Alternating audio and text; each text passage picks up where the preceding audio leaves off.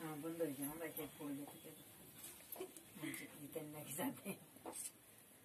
हे बाळू लागू सध्या बंद होईल बंद हो जाओ ना थोडं वाटत